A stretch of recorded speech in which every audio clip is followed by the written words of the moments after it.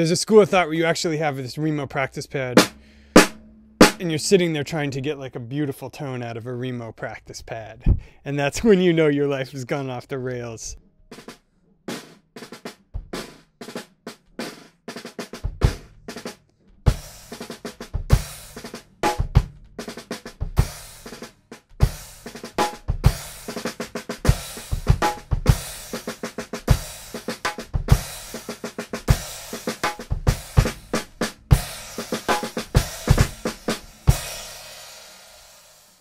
Yeah, what's up, ballers and shot callers?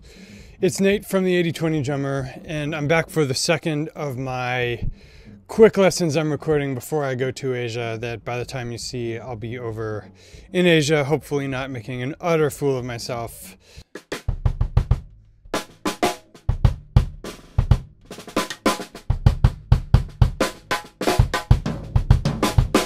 Today, I'm going to talk about hand technique because a number of people asked me two years ago, I'd probably do a video like how to really play the hand technique and the biggest myths about hand technique. And I kind of have a little bit more open minded approach to things now. I will say this I think that any approach that preaches an orthodoxy, like there's only one right way to do it, is probably misleading. I'm going to reiterate an adage I got from John Riley, which is essentially if it's working for you, then you have a good reason to stick with it. And only when it starts to break down do you maybe want to look for something more efficient. So, with that said, I'm going to talk about the two or three problems good technique is supposed to solve. And then I'm going to give you a little brief history into the things I learned and kind of what I do now. So I think that primarily what technique needs to do for you is to make you comfortable playing with multiple dynamics and multiple speeds. So if you have a technique that works really well when you're balling, when you're playing super loud, but then your touch or your time goes to crap whenever you're playing softly, it's probably not ideal. Or you might want to consider kind of phase shifting it or changing it. And similarly, Totally forgot the second one. Oh, and speed. So speed's the other killer because a lot of beginners, if they try to bounce things at slower tempos, you'll get into this thing. Remember, remember, remember this? From grade school drum auditions instead of etc. So let me talk to you a little bit about what I was taught when and what I do now. I really think there are three modalities for variation in stick technique. So the first is where you're generating force from. So are you generating force from the elbow? Are you generating it primarily from the wrist or are you generating it from the fingers? Right? So that's the origin of the force. I'm just making on the fly, by the way. Modality number two is control versus bounce. So you have extremely highly controlled techniques. Like wherever that's coming from, right? You know.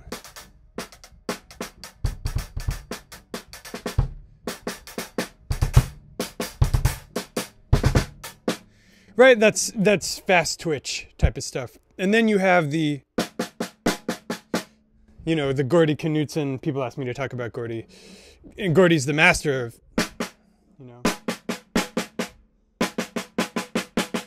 whether it's the classic Moeller of using an accent or just the more subtle kind of just gesture. So there are, there's a whole spectrum between control and bounce that I explored a little in the ride cymbal lesson, but which we'll explore to solve our two problems. Ooh, I'm starting to dial this in, the three modalities and the two problems. So then the third is angle, angle of attack. So that's where this whole French grip, German grip. yeah, I play, I play das Deutsche grip. Yeah, sacre bleu, well I play like the French. Now I want to talk to you about what I actually do today, and that is something that's primarily bounce control, where I use exactly the stick height I need, and I, I use bounce only when absolutely necessary because I've developed my fast twitch to a point where it can do that. So.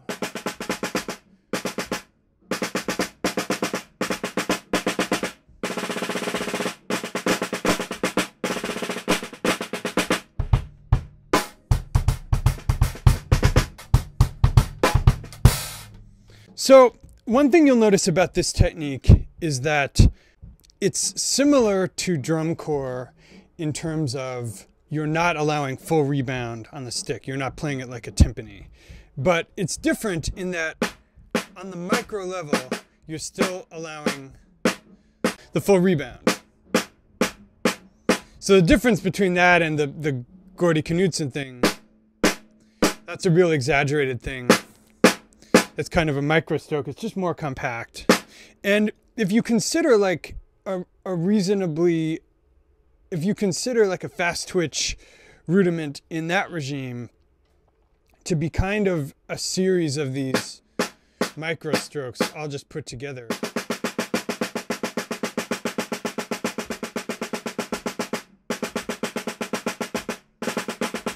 And the advantage to that is you can make a beautiful drum sound at very soft volume. So the other thing that I'll say about most of my kit playing is that I come from this sort of post Brian Blade school of using rim shots a lot, even in jazz. And David Garibaldi was kind of one of the early exponents of this style where it's very bipolar. There's a bipolarity between head strokes and rim shots.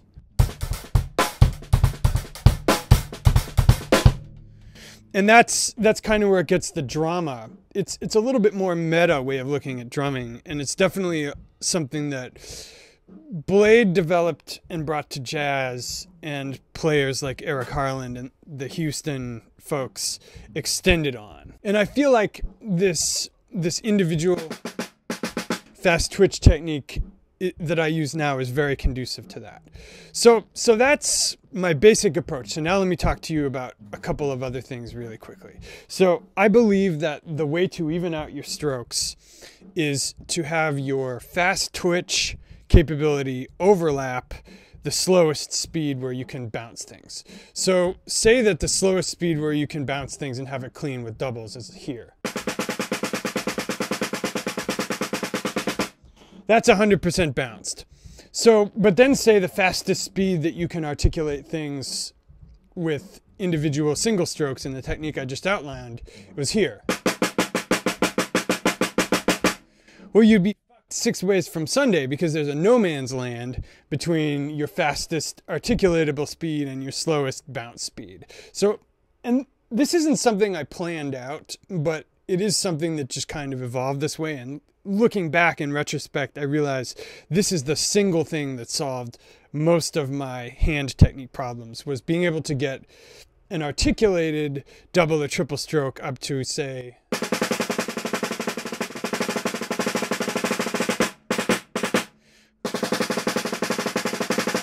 Right, like that's not even breaking a sweat. That's not I mean it doesn't sound super clean because it's not bouncing, but if you can if you can get your articulated fast twitch speed up into that range, then there's an overlap with your slowest bounce speed, and you can just. Is he bouncing or is he articulating? Well, it doesn't matter, they overlap. So now let me speak about angle a little bit because I believe in variable angle, but I do kind of follow the Alan Dawson, Gordy Knudtson school of, and the Joe Morello of the, the whole thing where you pick your hand up, you grab the stick, that's the angle you're at. So if you happen to be over the snare drum, it's at this kind of 45 degree angle, this American grip. And if you happen to be over the ride cymbal with your wrist rotated, then it looks more like French grip. And the one exception to that is over the hi hat, because I do like to utilize the French grip for the hi hat simply because again, this isn't something I planned out, but I found myself doing it and have probably from imitating my favorite players like Tony Royster. And I believe it's because number one, it's it's such an analog to the ride cymbal. It's such a similar surface. And number two, you know, it is it is still following this Alan Dawson handshake rule because you know your elbow is in and you're kind of like, eh, hey, all right, let's see what this guy does. All right, you need to have yeah, let's, let's see, we we see where this goes, right? So the the thing I'll say is like.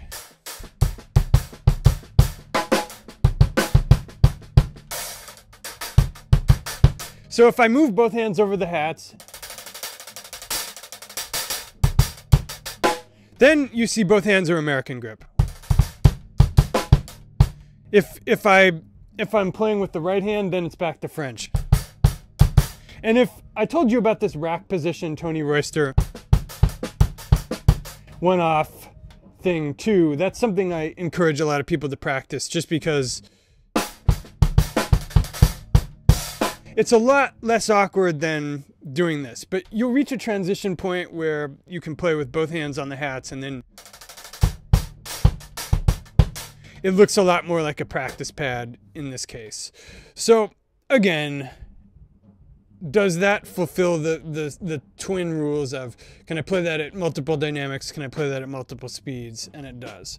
Okay, so the overlap, the angle. So the last thing I want to address is fulcrum because I do see fulcrum as kind of a another point where traditional modes of teaching fall down. And the thing I'll say about fulcrum is that it's really variable. And I think fulcrum is kind of uh, taking it's like taking a snapshot of a racehorse at one point in its stride. So or taking a snapshot of a golf swing or something something really variable and dynamic. Obviously the thing that gets taught most often is this fulcrum between the thumb and the pad on the index finger between the first and second knuckles. And there are times when you will find your fulcrum there, particularly I don't know if you can. When you're playing the ride cymbal, there are other times when it'll look from the side like your fulcrum's there, like if you're playing the hats. And again, I'm going to turn this to the side so you can see. But actually, it's not really there. Actually, and let me let me show you the other hand. This is a this is a an angle you see a lot in drum magazines when you see pros playing the hats. And if you look at some of my, my killers on Instagram, and it's an illusion because the fulcrum is not here, it's actually here. It's, it's the back fulcrum. So, what do I use more? 100 million percent I use the back fulcrum more. So, what, what's the, kind of the most standard thing you might be playing at a gig?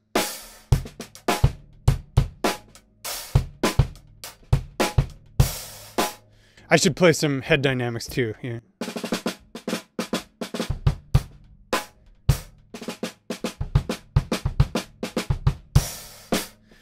All 100% back fulcrum. And the cool thing about back fulcrum, how do I define this? So I think the way to think of back fulcrum is if you hold your hand French grip, you remove your thumb, and you don't let the stick fall out of your hand, what are you doing? Obviously, these last two fingers are grabbing onto it. And that's also what solves the problem of there's sort of this tension in conventional teaching between like, ooh, you have to grip it like a vice between these two fingers, but then don't let your back fingers go off the stick, whatever you do. And it's a total misnomer because the reason why great players don't have their back stick, their back fingers floating off the stick is because they're using back fulcrum. Back fulcrum sounds so dirty, doesn't it? It's like, yeah, you into the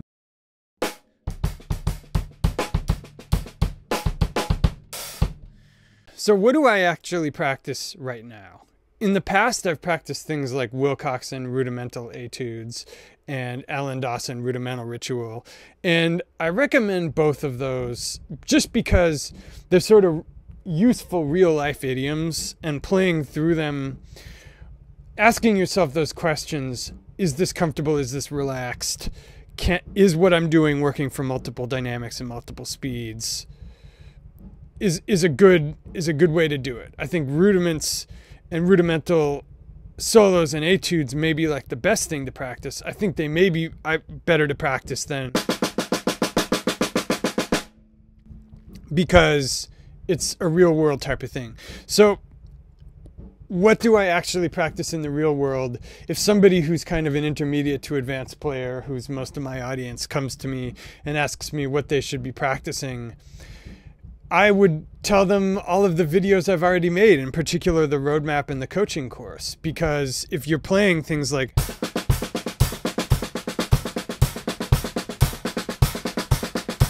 and you're playing them at multiple dynamics,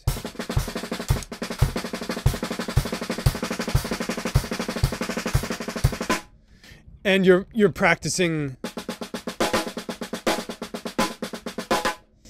your rim shots and all of these playing clean types of things and you're continuing to ask yourself those two questions. Is what i'm doing am i able to do what i'm doing in a relaxed way at all dynamic levels and at all speeds? Then you're on the right track with it. So a lot of my lessons are kind of lightning rods, but I feel like this one is more of a like one love, everybody's the same type of lesson because the takeaway is really it's kind of like Bruce Lee. One's one orthodoxy or style is is almost missing the point. It's about you have these multiple toolboxes. You have the Moeller toolbox, you have the classical snare drum toolbox, you have the drum corps toolbox, what have you, and you have some basic problems you're trying to solve, and you should always start from the problem you're trying to solve.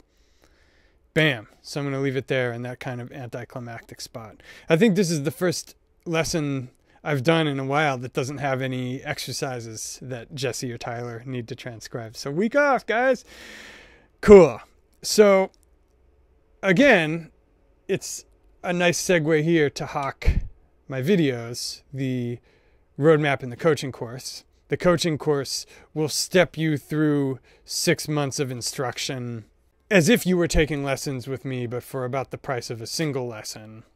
It's as if you took six months of lessons with me, hired a videographer to tape it in HD with professional sound, transcribed everything, and then hired somebody to take notes for you, but it's that's already done. And if you're looking for a gateway drug to that, I recommend my video, The 80-20 Roadmap, which again emphasizes these real life rudimental scenarios and outlines the three sort of secret things that great drummers are probably doing better than you while you're trying to get your singles faster on the practice pad. Nah, most of most of my viewers are hip.